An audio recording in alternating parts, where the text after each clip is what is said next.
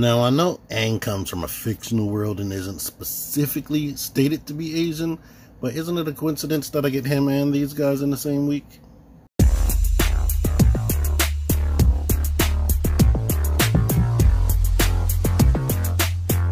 T-Man 978 Chill Review. Hello everyone, T-Man978. Right now I'm going to review all of the figures from the MCU Shang-Chi movie. And I heard the people from Hasbro calling him Shang-Chi. But everybody I have ever heard says Shang-Chi.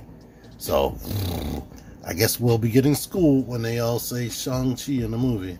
Yes, I do have the other two to make Mr. Hyde the builder figure of this wave, but they have nothing to do with nothing. I appreciate Hasbro for being able to put characters out that they know people want. So yeah, I appreciate that. So naturally we have Shang-Chi himself. Wenwu. I'm thinking that's pronounced Xialing a Death Dealer, and Target exclusive, not really part of the Build-A-Figure wave. Katy. Uh, at least I hope that's pronounced Katy. Why does she have on sunglasses? My friend Parts Former's wife is named Katie, and she happens to be Asian as well. So she, he showed her the picture of that, and she said it doesn't look like her, and she hated when people spell Katie like that. So I was like, you know what? Just throw some sunglasses on her. That'll work. Alright, here they all are out of packaging, and I'm not sure what the actors look like because I'm not super duper familiar with everybody here. But um they all at least look like real people. So that that's good. These faces are awesome. But as you can see, the Death Dealer is the tallest. And yeah, after that is Wenwu. And to put another character in here, that you probably have or a body type you'll have. That's how tall Spider-Man is next to you. Let me move her completely. Right there. So, if you've been collecting Marvel Legends for a while, you probably have at least one of that body type right there. Now, it was brought to my attention that Death Dealer, underneath of this right here, and the arms are new. This covering right here is new, and of course the head is new. But underneath of that down is apparently Ant-Man's body. Now for me, it doesn't bother me at all to be honest. But that is a piece of trivia right there. Like, not including Katy, because she's not officially part of the wave. They made her separate and charged an extra $3 because she comes with a lot of stuff. But we got three new molds and then a retool right there typically with these movie waves, you'll get like they only do two or three movie molds. So I'm shocked they put the extra effort into to doing that. I don't pretend at all to understand the budgeting constraints or what they have to deal with to, to get these out there, but I think that is definitely good enough. The only other full movie wave we got was the second Black Panther wave, and that was all reuse, really. Like, all.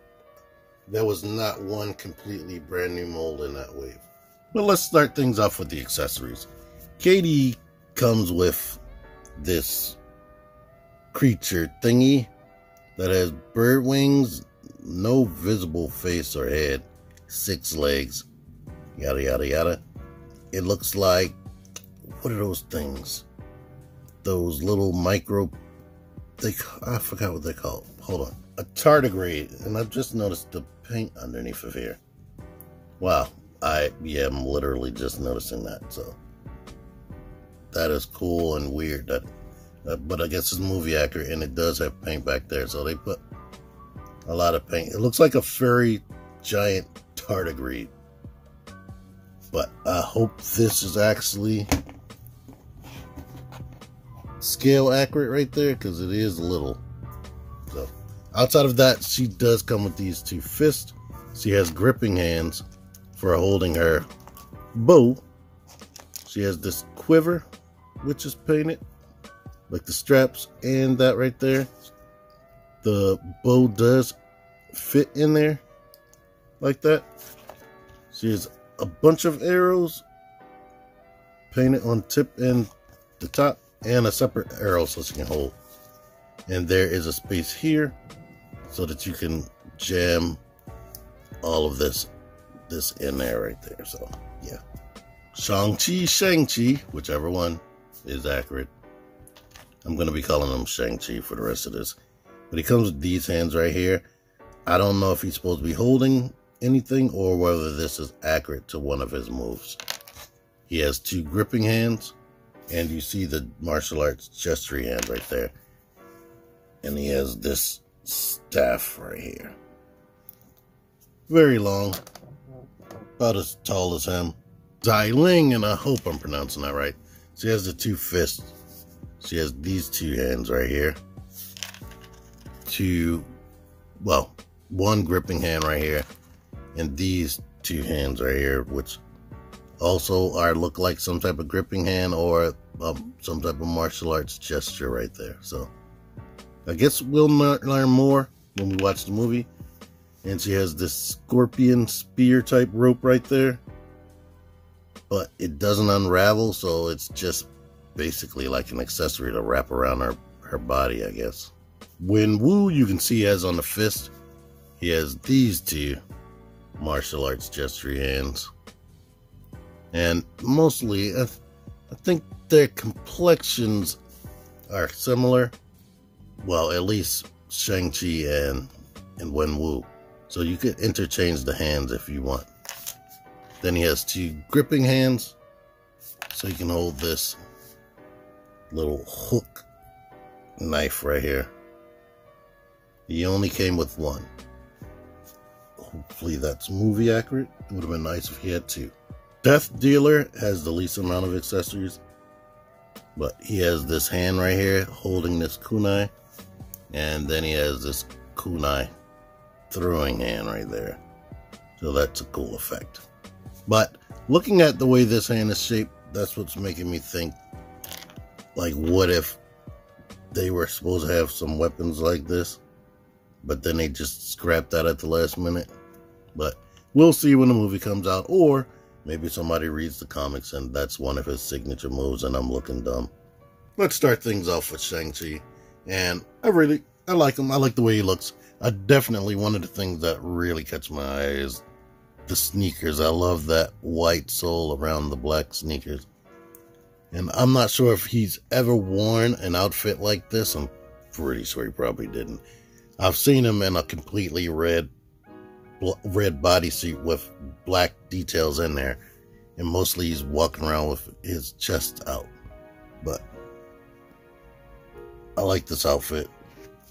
Naturally, with this being an MCU figure, he has a ton of extra details in there.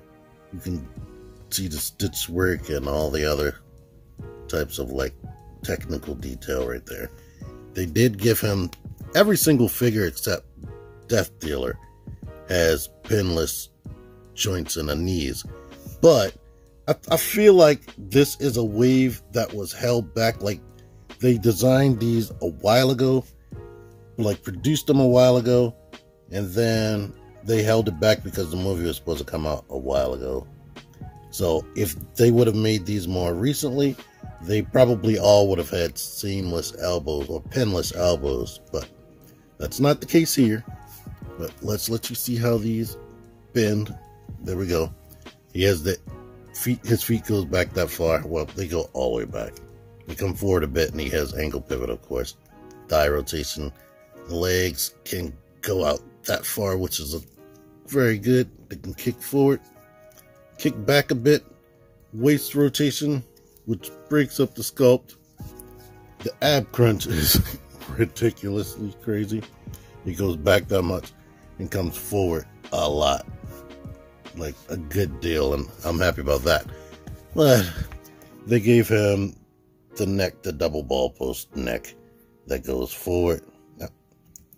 You can look up, you can look up good still and tilt left and right. But I really prefer the hinge, but in this guy's case, he does look up a good amount, so I can't complain about that. No butterfly joint, but you get the typical arms that go out to there, rotate. They can crunch in that much. That's good.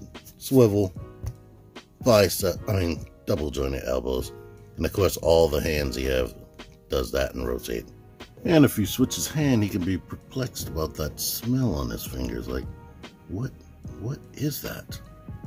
Oh, one more thing I wanted to show was they didn't paint the bottom of the feet. So that's realistic. I like it. Xiling, and I, I hope I'm pronouncing that right.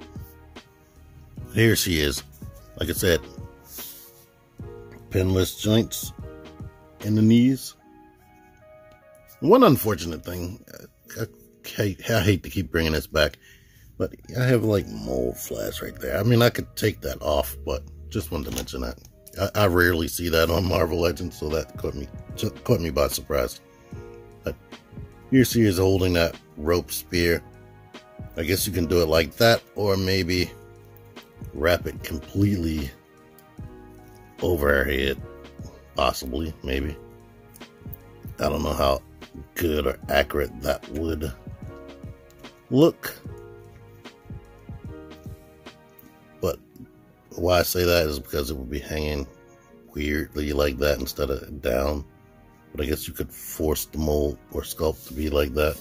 Same technical details in the outfit. They never have plain, plain suits in the MCU or anything nowadays because every superhero type show is taken their other superhero shows. They don't want stuff to look super duper plain. Here are her feet, if I can even get the light on that because they're so dark. The bottom. I hope y'all are looking at the faces while I'm moving these things around. They are really good, like I said. Shang-Chi's especially, I really like his face. It just looks like a real guy. But same type of neck. She can look up a good deal before it wants to fight back down a bit. She can look down. Of course, tilt and rotate. Shoulders go out above 90. Rotate, crunch in that much. Rotation at the elbow. More than 90 degree bend at the wrist. All the wrists hinge like that and rotate. The upper torso, she gets that, which is a lot right there. Back, a lot. Forward, not so much. I wish they would make forward a priority on females. Legs kick out that much, kick forward that much, kick back only a tiny bit, swivel. Double hinge knees that go all the way in. She can almost kick her back. And of course, you get feet that go all the way back. That's typically never a problem, problem with Marvel Legends. They can come forward a lot, and she gets ankle pivot. Only thing that I wish they start incorporating into every figure that they don't incorporate, besides double elbows for females, is some type of swivel right here, or at least ankle swivel on each figure. That would take them to the next level. But I showed you the hand. She still has this weird gestury hand and two of these and a fist. And that grippy hand for this. Katy, they put a lot of effort into her and she had some good things, but it's probably the most hindered and frustrating figure out of the wave. And I'm probably not going to be doing anything to help the sales of this. But yeah, main problem this freaking face. I mean, it looks good, looks like a real person, like I said. But the dead and lifeless face, I hate it. I hate that. It just looks like she just woke up and just got some bad news or just has something on her mind. But as with all the other figures, she has a ton of detail in her outfit. Like all over. Even this paint painted detail right there. I know that took a lot of work and effort to get that on to her robe and whatnot. And down here. And getting this situated is very highly awkward with this hair. I mean, it, it only works from certain angles, as you can imagine. But yeah, they put a lot of effort into this figure. Besides the accessories, like this whole tardigrade monster thing, I'm pretty sure that I could see where all the money went. Like, instead of this being all one piece, they had to give her like a separate piece for the wrist. She has separate pieces for the ankles that swivel. And this is what I'm saying. If you can't get boot swivel, it would be nice if they have separate parts. Make it swivel instead of fixing them in place. I hate when they do that for figures. But let's remove this and get into the articulation. The head is on the same double ball post. It's pretty much all the rest of them except Death Dealer. Look down. Can't look up much. Shoulders go up above 90. Rotate. They're in almost completely right there. Swivel at the elbow. Only a hair. Well, about as much as Xiling all the wrists do this and swivel. I can't tell if this. No, it, it can. I can see that it's. I can see the dried up glue right there. To be honest, the waist is on a double ball post, so she can do all stuff like this if you want. Mm-hmm. Do that, that, come forward, go back a ton, and under here, she is a fully articulated figure. But all of that is covered. In fact, I haven't even looked all the way up there. But she has the thigh rotation. They did give her pinless knees. Even though you'll never freaking see her knees. She can only get that leg out. The ankles rotate, like I said, they come forward a lot, go back a ton. She does have a peg hole under there. And of course, she has ankle pivot. But um yeah, crazy hindered by everything down here. I mean, it is, and this is not a very soft material at all. Let me see if I can pop her waist apart. Yeah, I was able to pop her waist apart. Now, I guess if you wanted to modify this and kind of fix it into place right there, like maybe cut a section off and make it smaller so it can just sit right about here she could have still about the same. You know, I said it was a double ball post, but it's just a post going up into her, her upper torso. But so you can see, she does have all the same type of articulation you would want in a figure, but that skirt ain't helping nothing. And they even sculpted her butt and whatnot. I thought it was going to be flatter than that once you see how tight that the skirt is actually fitting on it. But it's not. So, without that skirt and with this crunched in, like, she could be a good fighter or whatever. Or maybe you could do something to modify this. Give her two splits instead of just that one there's a seam line going that way. That's actually just decoration. That's not even a real seam. So that is very good attention to detail right there. Much like every $20 action figure ever that comes with a bow and a separate arrow, it is difficult as hell to get this pose right here. But one cool thing I like about the way they sculpted the hands, let me try to zoom in on it. The index finger and the pinky finger on both hands are cut out they're individual. So that helps a bit. But the way the fingers wrap around the gripping part of the bow, it does not want to hold that really tight. You see the fingers aren't really wrapping around there. And yeah, it's mostly like they don't expect you to ever pull on this. They want you to just pose like that. But it would be nice if that could pull all the way back to be in a natural holding position. But unfortunately, you ain't gonna get that. Just like Katy, this guy is hindered as well, but not as hindered.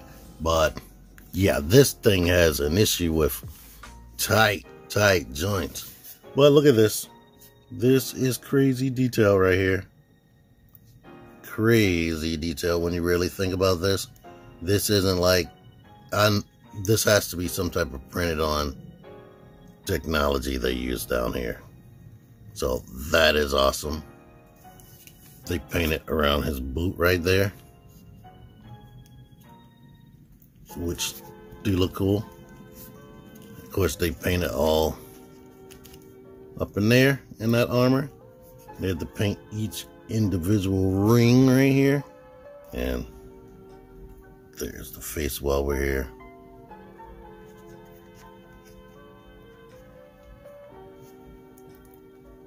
I know he's supposed to be Shang-Chi's dad. He doesn't look that old, but much like black don't crack. Asian people have the same same thing to a certain extent. But yeah, this is sort of like a separate pliable piece wrapped on there, but it is attached at the top. And the joints, bruh, the joints on these knees, they they almost do not want to bend, especially this bottom one, and they are pinless, as you can see. Let me. It is very difficult to get them to bend, but they do bend. So you can get into your your poses, but just know you are extremely hindered by this piece right here. It is pliable, but not that pliable. And me just doing that, I can see it tearing here and there. So that's his widest stance right there. He has the swivel. You can kick forward all the way on that leg and all the way on this leg as well. You saw what I was doing with the knees. That is a workout. The foot kicks up a ton. Kicks back all the way and you get ankle pivot. He has a ball at the top. So it's like a ball post. Shoulders go out. Mm, this one isn't going out 90, but you can rotate. And yeah, that's what we're working with there. Even the elbows, the elbow joint right here is tight. But if you do it, you can get it all the way in. The head is on the double ball post. You can look up a lot look down, pivot, and whatnot, and get all of that action. You saw this and the fist. I'm not a super fan of the wrist that hinge down like this, but maybe for these gripping hands, he probably should have had that. So you can like get this down. I can get him into the pose I was trying to get him into with the arm like this and having it like lean forward without rocking the, the arm actually forward.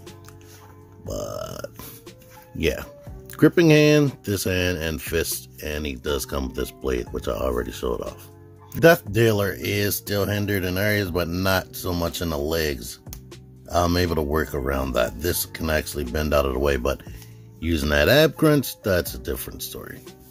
But let's let you see these details. Nicely painted. Got these kunai you can't remove. I believe this is permanently glued. They didn't do it in such a way where you can pop that off. They took the G.I. Joe classified approach. Or maybe you can. Hmm. Nah, that looks that looks sealed, so I'm not gonna do that. But you can see his body is silver under there. I don't know. I don't know what it looks like in the movie. I think they should have made it black or this color right there. I don't know why they went with that. And this this face, I hope y'all don't hear the wind in this video. But this face, even in the, the trailer, it looks really interesting. It's like, it's weird how the eyes, you would think the eyes would disappear in all this white. But it just looks so creepy and realistic. And that even looked creepy to me in the in the trailer. But his neck probably has the most range because it's on a hinge. You can even like rock forward and back and stuff and look all the way down. So that's why I like hinges more than double ball posts. His shoulders go up above 90. Crunch in that much. Swivel here. The joints are a little bit stiff on this one as well. But you can crunch the elbows in that much. All the hands go in and out like that. You do have a rotation in the waist under here. And he does technically have an ab crunch. it's in there. He can go back. Coming forward. This thing is way too stiff. Watch my Death, my um, McFarlane Toys Death Sister show review. So you can see they put like a super duper pliable material on on her body that will move out better than this is doing right now. And I didn't really look at the red inside right here. So they did put some effort into this. Now, hmm, yeah, I guess this is red paint versus the blue. So wow, I wonder if it's red all the way up. Uh, no, I doubt it. Now, up here it seems to be pliable, but hmm, whatever. They did put this detail on the back of the leg, and you can see the detail in the stitching in the pants. Ankles go back, ankles come forward, ankle pivot, and there seems to be like a clicking in the ankle pivot. Feels like I'm about to rip the peg off. But I don't know why they did that. It makes it difficult to articulate the ankle pivot, which I'm not used to that. Thigh swivel, knees bend that much, and y'all saw me kicking him around and whatnot. Legs can only go back but so much. And you see these hands, and I already showed like the gestury hand right there. Both of them look like that. All right, final thoughts. If you're a mitten box collector, you saw what they look like the first minute in. They look awesome. That's all you need to know. They're good to go. If you are a open them up, put them on the shelf with the other people and don't really pose them type person, these are awesome. They're all highly detailed and they look very nice. If you are a dynamic poser, Shang-Chi is the best one out of here. I can't really complain about him. He comes with three sets of hands. He comes with a weapon. Only thing else they could have added is a different facial expression, but he is very dynamically posable. And I barely have anything to complain about with him. Xiling, if that's how you pronounce it, she is pretty much the same way. Her weapon accessory isn't too exciting. you can't really do anything with it besides just put it on her, and that's about that. So that's boring. So, same thing I said about Shang-Chi. Comes with three sets of hands. Actually, three sets of hands plus an extra gripping hand for whatever you might want her to do with someone else's weapon. So, outside of the ab crunch being weak, she's good to go as well. Wenwu, I can almost say the same thing about him as Xiling, but he is very hindered at the waist, and those knee joints are extremely tight and frustrating. So, if it wasn't for that stuff, his little waist robe, he would have way more posability, but that's there, so that is frustrating. Death Dealer. Death Dealer is good, but he is hindered in the waist. So, his waist is out. So, I would definitely be saying the same thing, like I said about Wenwu as far as Xiling. They would be on the same level, but his waist is extremely hindered. His accessories that he comes with are cool, but he also has no fist. And I don't know if you can get around not being able to pose the waist like that without extreme, extreme effort, because this is pliable. So if you want to put all that effort in there to get him to be some kind of posable, you can go for it, but it, it is frustrating, and I don't have time for all that. Katy. Katy is almost completely dead from the waist down. You can get her in these, like I said, just take them out of the box, stand her there, poses, and you're good to go. But as far as anything dynamic, yeah, good luck with that. She does come with the fist if you want to have her like just standing there kind of fighting. But that dead face, like all the rest of these face faces have at least some type of expression, but hers just looks like, ugh, just scan my face and get this mess over with, so I can get out of here. that's that's how I feel about that face. And using her accessories is kind of frustrating, and the hair gets in the way of the quiver.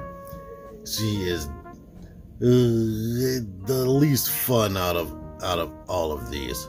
I mean, you could take that bottom of her robe off and have the legs exposed, make her more dynamic, but then she still has that dead face and it'll look kind of weird a little bit with her having a robe at the top and the regular legs at the bottom unless you don't really care about that. Maybe all that detail stops at the belt which you still would have to adjust in some type of way. You have to at least glue it in the front for it to look somewhat decent. So yeah she's probably the weakest out of these movie figures. But anyway I ordered these from Hasbro Pulse with the exception of the Target exclusive Katy, who is probably most definitely orderable on Target.com right now. And I believe all of these are on Amazon. I should have links in the description on Amazon to where you can find them. Or at least one, my main Marvel Legends link, where you can find them and other figures in that main Marvel Legends link. Thank you for watching this. Until next time, T-Man978, out of here. Click, click the videos. Click the videos, baby. Click, click the videos. You should really click these videos. Click, click the videos. Click those videos, baby. Click, click the videos. You really should click those videos. Click that shit. Go ahead and click that shit. If you think you would like it, really, really click that shit. Now I'm freaking gone.